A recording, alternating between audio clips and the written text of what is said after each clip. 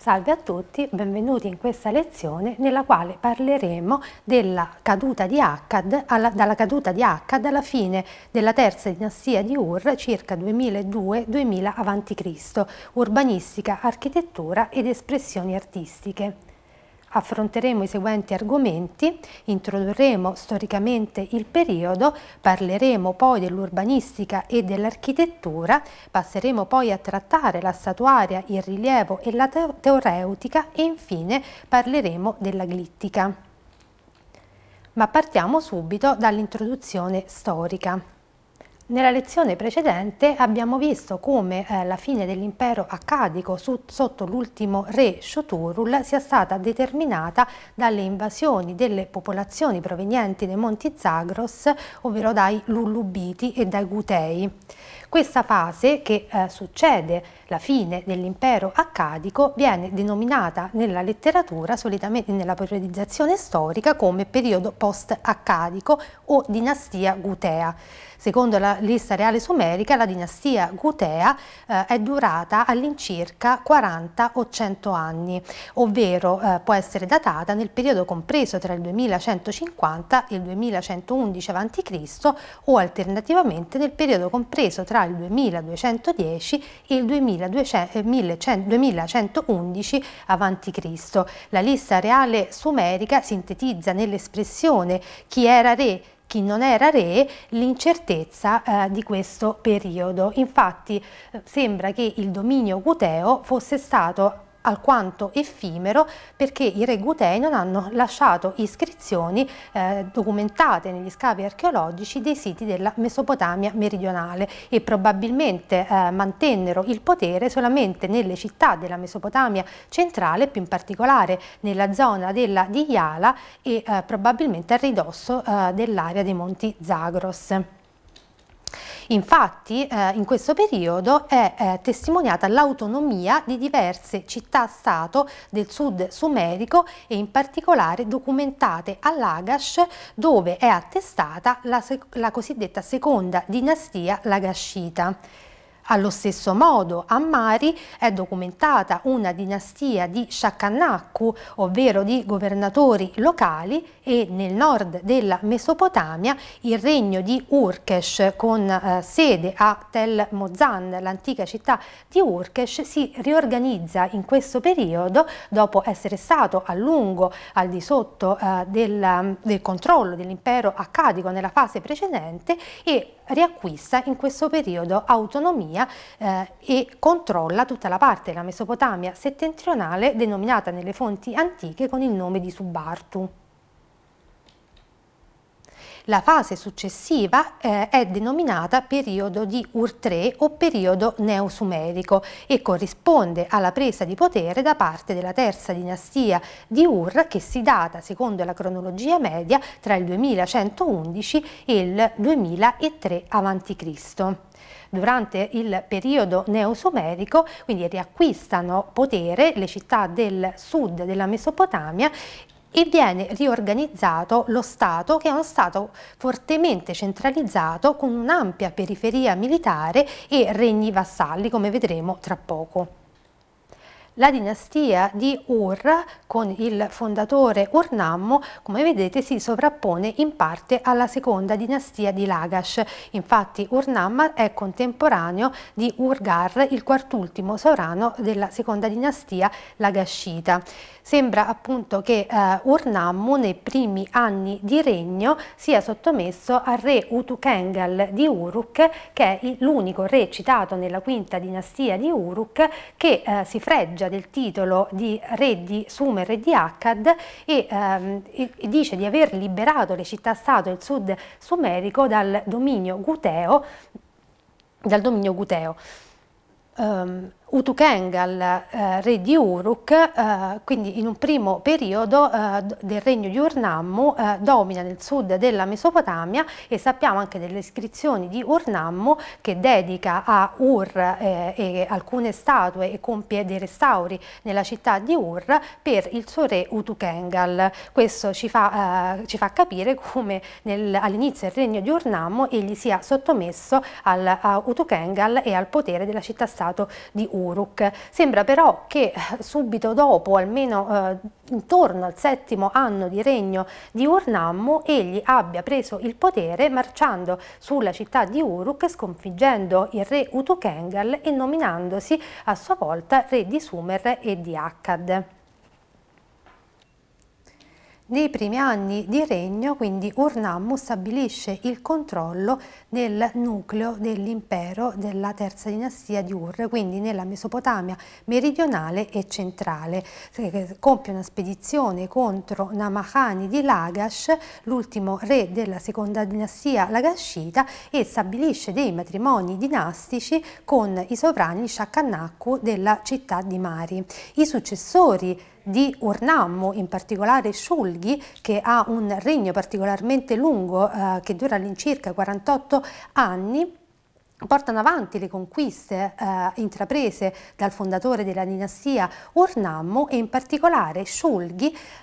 estende il dominio della terza dinastia di Ur nel nord della Mesopotamia, conquistando Karkar, che corrisponde alla zona dell'attuale Kurdistan iracheno, marcia su Urbilium, l'attuale Erbil, e su Shashrum, la, probabilmente identificabile con l'attuale Tel Shemshara, compie delle spedizioni vittoriose contro Simurrum, e muove, a, uh, una, e muove anche verso uh, Amurru, cioè verso il paese uh, occidentale, la Siria, gli altopiani della Siria occidentale che erano abitati prevalentemente da popolazioni nomadi o da tribù definite nei testi della terza dinastia di Urtre con il termine di Martu. I successori di Shulgi, in particolare Amarsuen e Shusin, eh, consolidano i confini del regno stabiliti da Shulgi Shulgi e compiono delle spedizioni più a nord verso Assur,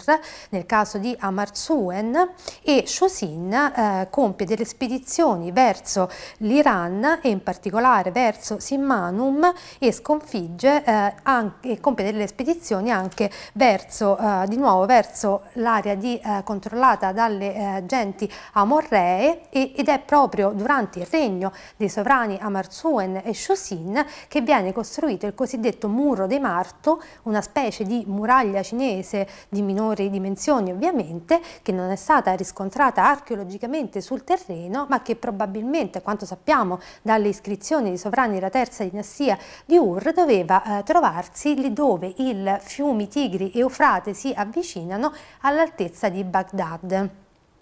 Questa muraglia eh, fu costruita per tenere lontano dal centro dell'impero di Urtre eh, i nomadi che spingevano verso, verso eh, il centro del regno e vedremo eh, più tardi come eh, l'avanzata e la, la, le pressioni delle popolazioni nomadi eh, provenienti dagli Zagros ma anche dall'area siriana occidentale porteranno alla caduta dell'impero di Ur. Durante eh, la terza dinastia di Ur sono eh, documentati rapporti commerciali con diversi importanti eh, centri localizzati lungo l'Eufrate, in particolare, come abbiamo detto precedentemente, con la città di Mari, con la quale vengono stipulati degli eh, accordi matrimoniali mentre eh, sono documentati alla corte di Urtre eh, dei mercanti provenienti dal centro di Ebla, e, ma anche provenienti dal centro di Urshu che probabilmente eh, è localizzato lungo l'alto corso dell'Eufrate. Quindi durante il periodo di Urtre, o anche detto neosumerico, ovvero della rinascenza delle città del sud della Mesopotamia, dopo il periodo di dominio accadico e eh, successivamente il periodo di dominio guteo, vediamo come il regno fondato da uh, Urnammu e portato avanti e ingrandito dai suoi successori si basi sul, uh, su una serie di interventi strutturali come il potenziamento della rete dei canali ma anche il deliberato reinsediamento delle genti sottomesse che vengono deportate dai loro luoghi di origine e eh, vengono in eh, villaggi fondati eh, ex novo nella Mesopotamia meridionale, come il caso del villaggio degli uomini di Lullubum, nominato nei testi della terza dinastia di Ur. Allo stesso modo vengono create nel, durante la terza dinastia di Ur una serie di province, sono in tutto 22, che si basano su un sistema amministrativo ferro e, ferreo e una gestione centralizzata dell'amministrazione e, eh, del, e delle province attraverso la nomina di enzi locali, quindi diversamente da quanto fatto dai eh, sovrani accadici che tendevano a lasciare gli enzi locali locali al potere e quindi eh, a favorire poi le rivolte delle città-stato sumeriche, i dinasti della terza dinastia di Ur tendenzialmente sostituiscono tutti quanti i sovrani delle dinastie locali ponendo a capo delle diverse città-stato delle diverse città sumeriche degli enzi locali eh, che sono dei veri e propri funzionari di carriera nominati eh, dal, da, dal sovrano di Ur III. Allo stesso modo, per quanto riguarda l'amministrazione militare, vengono posti a comando eh, del, dell'esercito diversi eh, shaghina, che sono dei capi militari di nomina reggia. L'impero centralizzato di Urtre pone una tassazione, la cosiddetta bala in sumerico, sulle 22 province dell'impero e questa eh, comporta il eh, l'accentramento da parte della capitale Urtre di risorse agricole, quindi eh, tassazioni mh, in quantità di grano che entrano nelle casse centrali e nei magazzini dell'impero, ma anche tassazioni che riguardano capi di bestiame, ma anche forza lavoro coatta. In questo periodo vengono promulgati i primi codici di, di, leggi come il codice di Urnammu che recita se un uomo commette un omicidio sarà ucciso, se un uomo commette un furto sarà ucciso, se un uomo divorzia dalla prima moglie dovrà pagarle una mina d'argento.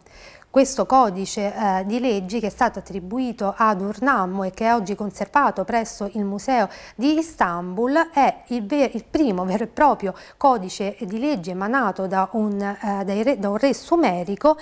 che è diverso dagli editti di periodo protodinastico che, eh, dei quali avevamo parlato nelle lezioni precedenti, dove il re, l'ensi locale, tendeva a eh, rimettere i debiti eh, dei debitori, a liberare gli schiavi, ma erano degli editti che venivano promulgati una tantum. Invece il codice di leggi eh, emanato da Urnammu sarà ripreso poi dai sovrani di periodo paleo-babilonese all'inizio del secondo millennio a.C. e famosissimo è il codice codice eh, di Hammurabi, che è l'esempio più eh, eclatante di codice di leggi.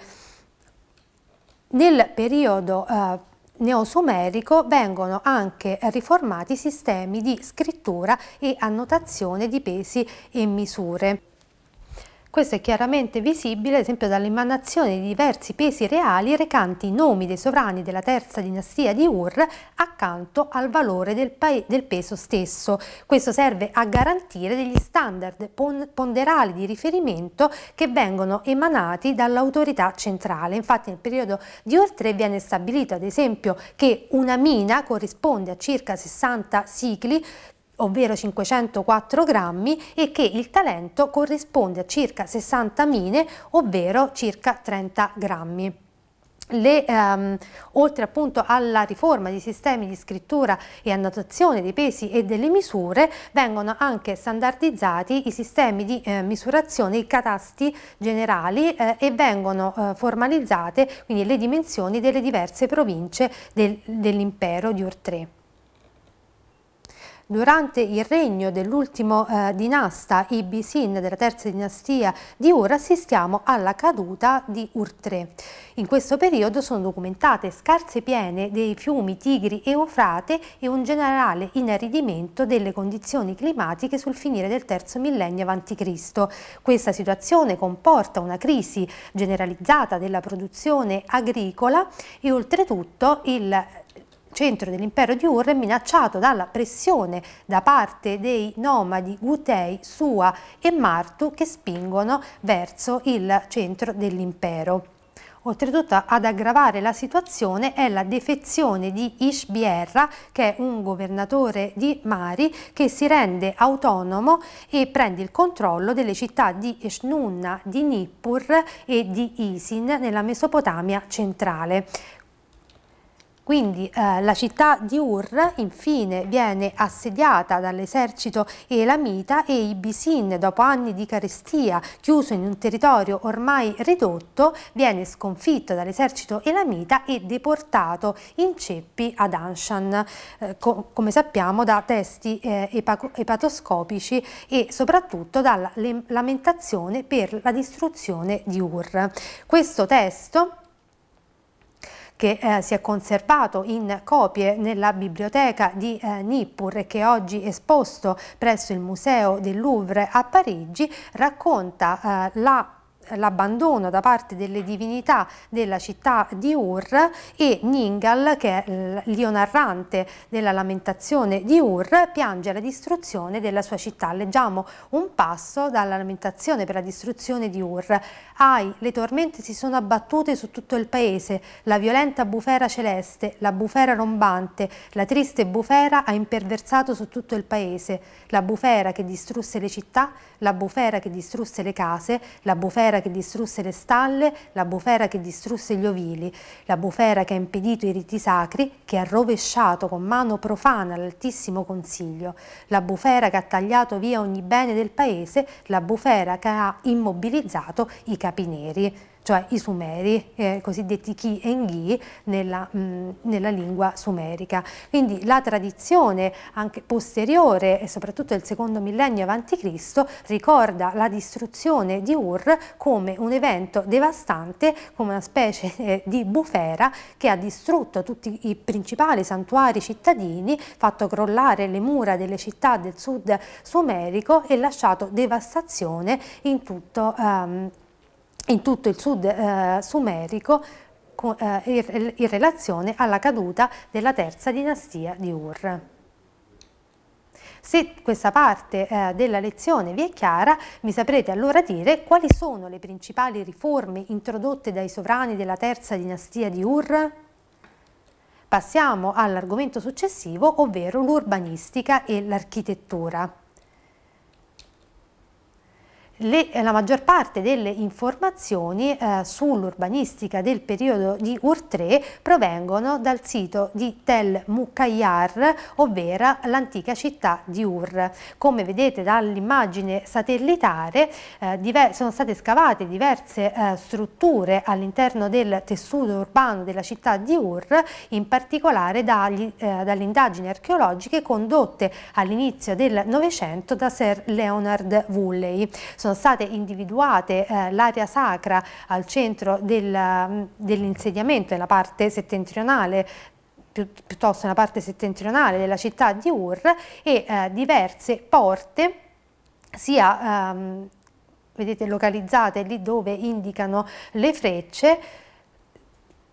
ma anche dei eh, cosiddetti watergate, watergate, ovvero delle eh, porte acquatiche nel, nelle quali eh, entrano i eh, canali che dovevano attraversare la città di Ur come eh, nella ricostruzione che vedete eh, abbastanza idealizzata ma che in realtà dovrebbe corrispondere più o meno alla realtà della città antica.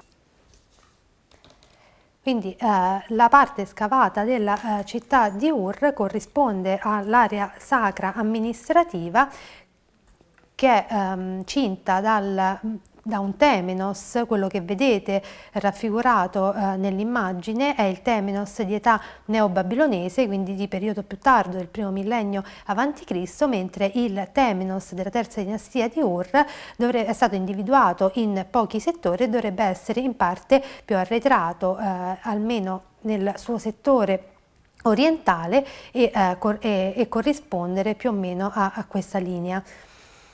Le strutture messe in luce all'interno dell'area dell sacra eh, e maggiormente conservate sono la cosiddetta Etemeninguru, cioè la zigurat eh, dedicata al dio Nannasin, il Ganumak, che sarebbe il tesoro costruito da Amarzuen, il Giparu, che è mm,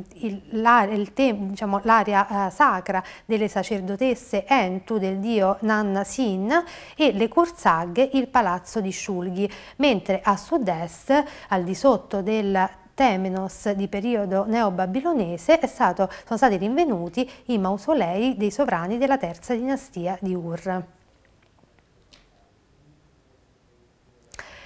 Il palazzo eh, cosiddetto di eh, Shulgi o Ekurzag è stato eh, scavato mh,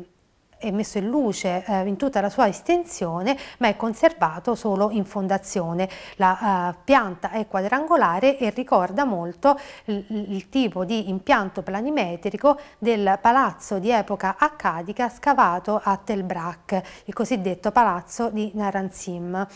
Nella fase eh, di UR3 viene a definirsi l'impianto che diverrà poi canonico delle strutture di eh, governo e dei palazzi fino all'epoca paleo-babilonese, quindi all'inizio del secondo millennio avanti Cristo, che prevede eh, una corte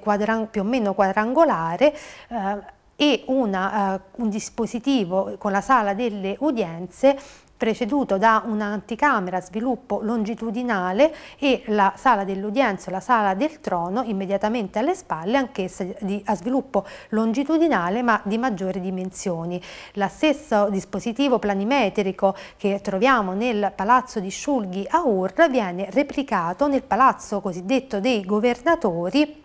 nel sito di Eshnunna nella valle del Diyala. Il palazzo di Eshnunna, come vedete, ha anch'esso eh, un accesso tramite una corte quadrangolare, un'anticamera e una camera, eh, la cosiddetta sala del trono, sala delle udienze alle spalle, mentre nel settore sud-occidentale eh, della struttura doveva essere localizzata la cosiddetta cappella palatina. In una fase successiva, databile al regno di eh, Shusin, viene costruito un un tempio dedicato al, ehm, alla divinità di Shusin, quindi al re divinizzato, eh, che è questa struttura di forma quadrangolare che ha un accesso assiale che immette verso una corte quadrangolare centrale eh, con alle spalle la cella per eh, il culto de del re divinizzato. Ma eh, una delle innovazioni principali del periodo di Ur-3 è proprio la costruzione delle cosiddette zigurat, Zicurato eh, significa eh, costruito eh, in altezza, infatti questi santuari sono eh, elevati su più piattaforme sovrapposte, almeno eh, probabilmente nel numero complessivo di tre, la eh, Zigurat meglio conservata è quella costruita da Urnammu a Ur, la cosiddetta Etemeninguru, dedicata al dio Nannasin, cioè al dio lunare. Come vedete l'impianto della Zigurat eh, di Ur prevede un accesso turrito localizzato nella porzione nord-orientale che immette in una prima corte e, eh, e con un secondo passaggio di sassato rispetto al primo eh, si accede alla seconda corte, ovvero la corte della eh, vera e propria Zigurat, dove eh, è localizzato non solo il santuario dedicato a Nanna, ma anche eh, probabilmente dei dispositivi che, che sono eh, delle cucine templari dove venivano preparati i pasti eh, offerti alle divinità. La zigurat eh, di Ur, che è quella meglio eh, conservata, costruita da Urnammu, eh, prevede eh, la eh, costruzione su appunto più eh, piani sovrapposti con delle facciate articolate in nicchie e lesene e leggermente inclinati quindi dal, dall'alto verso il basso con una rampa di accesso ortogonale, la rampa principale e due eh, rampe di accesso laterali che mettono al primo piano mentre il secondo e il terzo piano probabilmente erano raggiungibili attraverso una rampa ortogonale che portava eh, all'altezza del, dell'ultimo eh, dell piano alla struttura templare vera e propria che però nel caso della zigurat di Ur ma anche delle altre zigurat documentate nelle altre nelle città del sud sumerico non è conservato. Si, eh, si, calcola che per la costruzione della zigurat di Ur siano stati impiegati 6.876.900 mattoni crudi e 663.000 mattoni cotti, che sono una quantità enorme eh, di mattoni che eh, prevedono appunto una una corrispettiva quantità di forza lavoro e di operai che devono realizzare i mattoni e devono metterli in opera. L'interno di queste strutture eh, templari costruite a gradoni era costituito eh, da mattoni ma anche da eh, stuoie di canne che servivano a rendere la, la, struttura più elastica e anche dei canali di scolo che servivano a far defluire le acque eh, piovane, eh, le acque piovane dall'interno della struttura struttura. Altre zigurat costruite da Urnammu nei eh, principali centri del sud sumerico sono le zigurat di Uruk di Nippur ma anche le zigurat di Eridu ed Adab che eh, purtroppo sono poco conservate co come potete vedere e erose eh, dall'esposizione prolungata alle intemperie. L tutte le zigurat dovevano avere una planimetria eh, simile quindi con un, due corti di accesso e una struttura a gradoni sovrapposti, solamente la zigora di Uruk probabilmente aveva delle dimensioni diverse rispetto alle altre con eh, il lato lungo più sviluppato rispetto al lato breve. Altre strutture eh, caratteristiche del periodo di Ur III eh, sono il cosiddetto santuario Ghiparu delle sacerdotesse Entu. Il Ghiparu, che era il tempio eh, di Ningal, la paredra del dio eh, lunare Nanna, era la era la residenza delle sacerdotesse eh, che però è stato eh, ricostruito ampiamente in periodo paleo-babilonese sotto le dinastie di Isin e Lars e quindi della planimetria eh, databile alla terza dinastia di Ur eh, sappiamo pochissimo, quindi, ma probabilmente eh, nel periodo di Isin e Lars venne ripresa ampiamente la struttura del santuario dell'epoca precedente distrutto dalle incursioni elamite alla fine del terzo millennio a.C. Un'altra uh, struttura caratteristica dell'epoca di Ur-3 sono i cosiddetti mausolei reali che sono documentati nel settore sud-orientale, come abbiamo visto prima, del Temenos eh, neobabilonese del primo millennio a.C. In parte si trovano anche proprio al di sotto del Temenos più tardo. Questa struttura eh, dei mausolei era accessibile tramite una scalinata ed era realizzata con delle volte con conci aggettanti. La struttura diciamo il nucleo più antico dei eh, mausolei è questo qui centrale che sembra essere stato costruito da Shulgi per Urnammu, quindi per il sovrano precedente, mentre le altre strutture, quella a sud, eh, sembrano eh, seguire il nucleo principale costruito da Shulgi per Urnammu e sono il mausoleo costruito da Marzuen per Shulgi e il mausoleo costruito da Shusin per Amartsuen. Quindi ognuno dei eh, sovrani dedicava eh, al, al, predecessore divinizzato la cappella funeraria. Questi mausolei, come vedete, hanno una pianta quadrangolare tipica delle case di abitazione del periodo con una corte centrale e eh, delimitata da vani sussidiari ai lati. L'articolazione la, delle facciate nicchie e lesene riprende invece l'architettura eh, sacra del periodo e in particolare eh, documentata come abbiamo visto nelle eh, zigurat della, mm, eh, di, di, Ur e degli altri centri sumerici ma anche nel palazzo de, di Shulgi divinizzato al di sotto eh, dei piani pavimentali di queste stanze eh, eviden longitudinali evidenziate in verde sono documentate eh, le stanze funerarie dei sovrani della terza dinastia di Ur. Purtroppo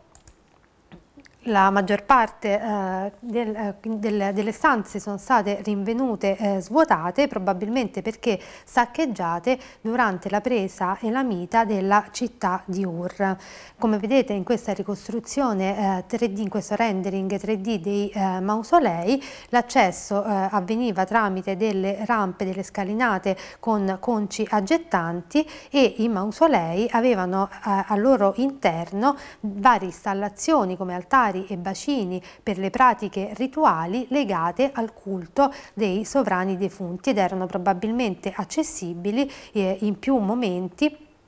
eh, e riaperti per effettuare il culto dei sovrani divinizzati.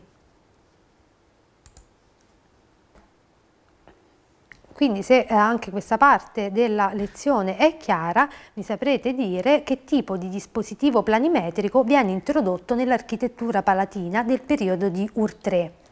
e qual è l'edificio templare tipico del periodo. Passiamo ora all'argomento successivo, ovvero statuaria, rilievo e toreutica. Purtroppo la maggior parte delle opere datate alla terza dinastia eh, di Ur non è stata rinvenuta negli scavi archeologici eh, perché probabilmente sono state quasi tutte deportate dal sacco elamita in, um, in, Iran sud-occidentale e, eh, e quindi non abbiamo delle testimonianze dirette sulla statuaria del periodo Ur III. Al contrario abbiamo diverse testimonianze per quanto riguarda la statuaria del periodo post-accadico della seconda dinastia di Lagash e in particolare eh, numerose statue sono attribuibili al sovrano Gudea.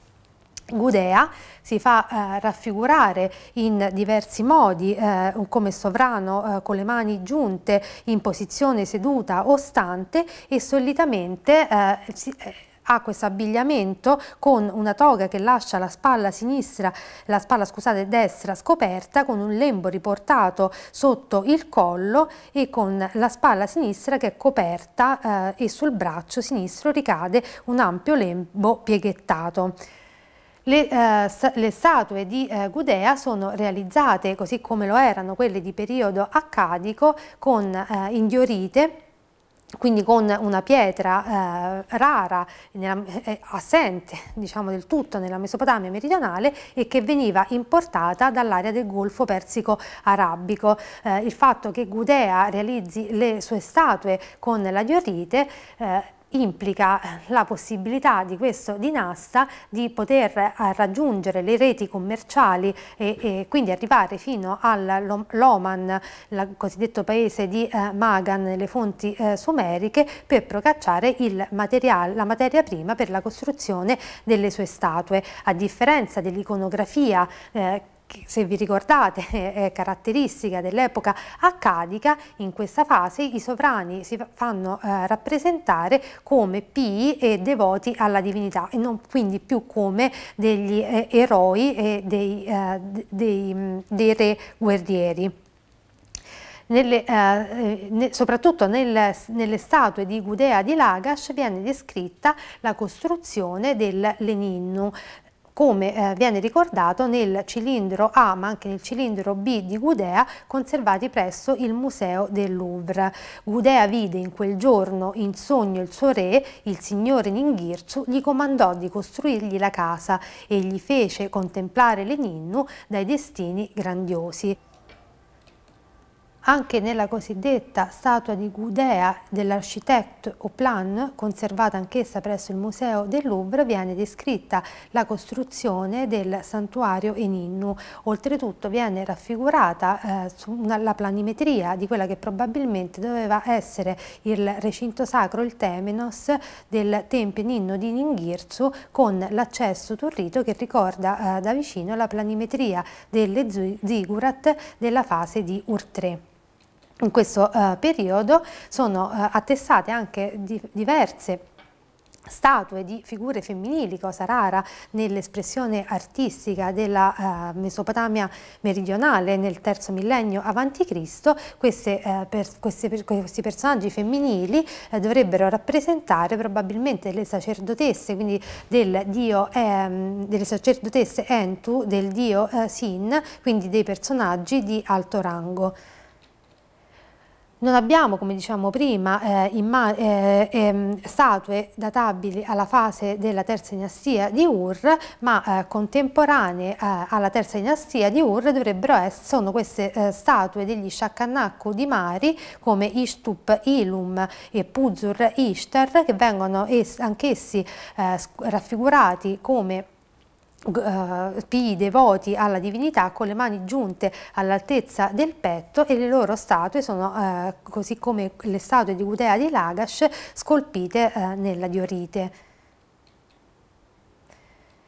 L'unica eh, statua frammentaria eh, che è conservata oggi presso il museo eh, di Baghdad in Iraq è la statua di Shulgi che reca una iscrizione sulla, sul dorso, però eh, la statua è talmente frammentaria per poter ricostruire gli aspetti principali della statuaria di Urtre. Della statuaria di Urtre.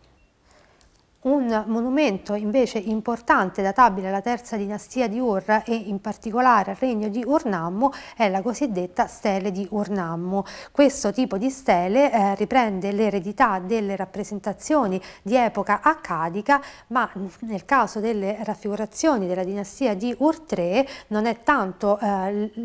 tanto l'episodio eh, guerresco che viene narrato ma eh, si parla soprattutto di eh, costruzioni e di dediche da parte dei sovrani alle, di templi alle principali divinità poliadi. Infatti le stelle della terza dinastia di Ur sono piuttosto delle stelle edili.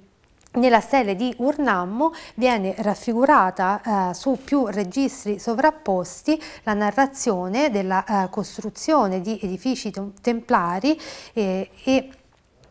Vediamo, eh, diciamo, l'immagine è eh, la narrazione articolata in, due, eh, in più registri sovrapposti e in un recto e in un verso. Nel recto viene raffigurato nel primo registro l'omaggio del sovrano a Ellil e Ninlil, che, eh, che è questa divinità rappresentata eh, sulla destra, che dovrebbe tenere in grembo probabilmente eh, o una divinità oppure il figlio di Urnam Sammo, ovvero Shulgi. Al di sopra delle eh, due divinità vengono rappresentate delle dee minori della fertilità che tengono in mano dei vasi con le acque zampillanti. La rappresentazione di queste divinità che eh, vengono fuori dalla parte superiore della stele ha, dato, eh, ha,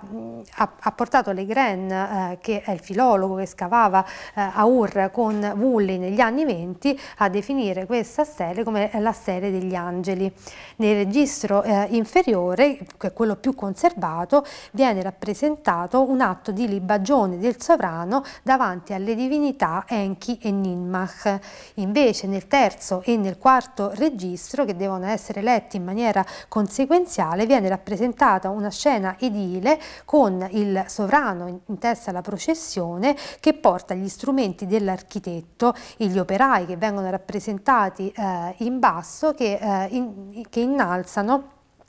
le murature, quindi sono intenti nel costruire una struttura probabilmente a carattere templare. L'ultimo registro è, è, talmente lacunoso che non è possibile ricostruire la scena raffigurata. Invece sul verso, eh, verso l'alto nel primo registro, doveva essere rappresentato anche qui l'omaggio del re ad una coppia divina, forse Nanna e Ningal, e, e le dee patroni di Ur. Sul secondo registro, che invece è più conservato, vengono sono rappresentati riti epatoscopici nei luoghi della costruzione dei canali. Nel terzo registro vengono rappresentati degli atti sacri di fronte a due divinità, in questo caso forse Shamash e Ningirsu. Nel quarto registro sono eh, raffigurati dei musicanti che partecipano alla celebrazione religiosa e nell'ultimo registro in basso, il quinto, che forse dove, doveva essere uguale e speculare a quello rappresentato sul recto, viene raffigurato il culto eh, verso una statua probabilmente di un sovrano regalizzato oppure eh, di un antenato regale. Infatti sappiamo, come abbiamo visto nei mausolei reali di Ur, che venivano ehm, svolti culti per gli antenati regali divinizzati dagli stessi sovrani di Ur III. Qui vedete una restituzione eh, della stele di Urnammu così come è stata restaurata eh, intorno ai primi anni 20 con delle integrazioni che hanno falsato la ricostruzione, infatti eh, ad esempio il crescente lunare e il sole in alto sono totalmente eh,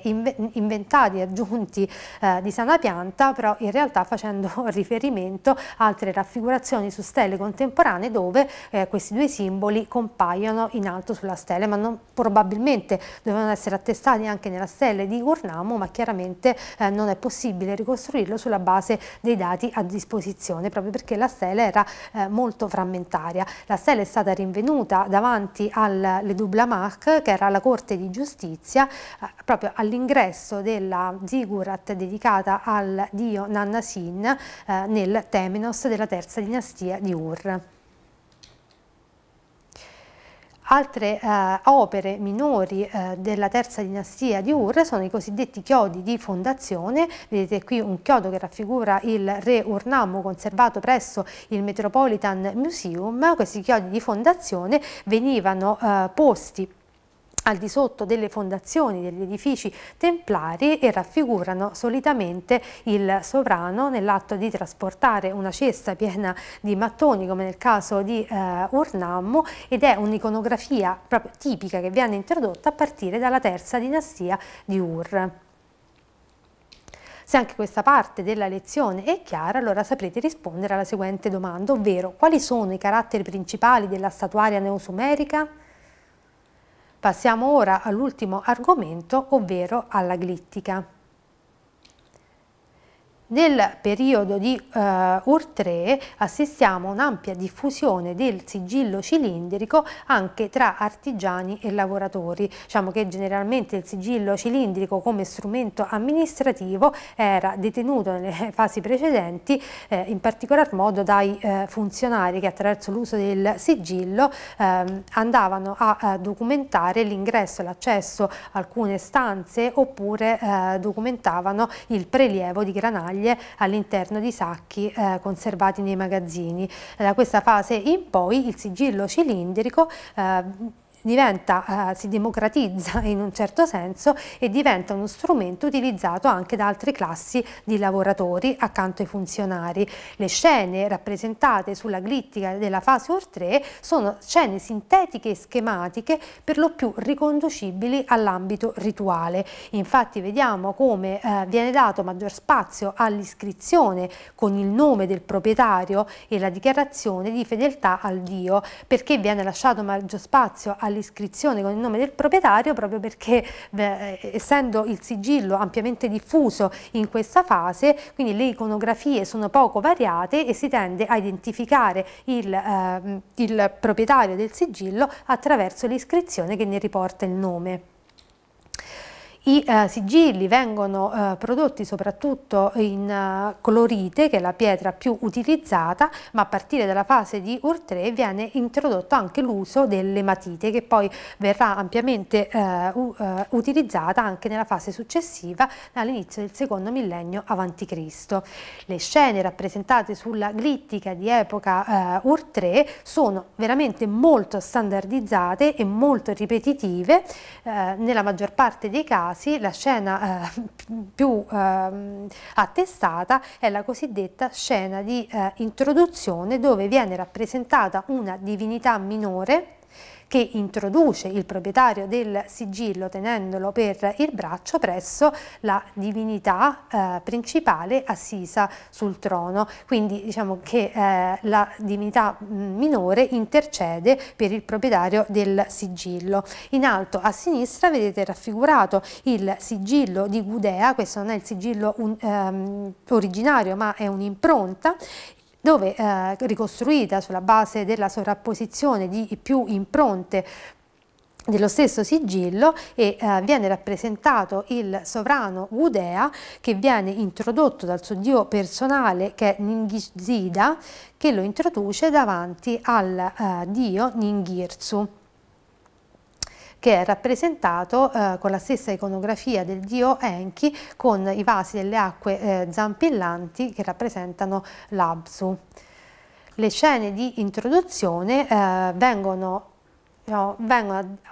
a definirsi nella precedente fase accadica ma sono molto rare mentre eh, sono eh, diffusissime a partire dal periodo di Urtree come vedete anche su queste eh, impronte di sigillo conservate presso il British Museum e eh, verranno poi riprese dai eh, sovrani della seconda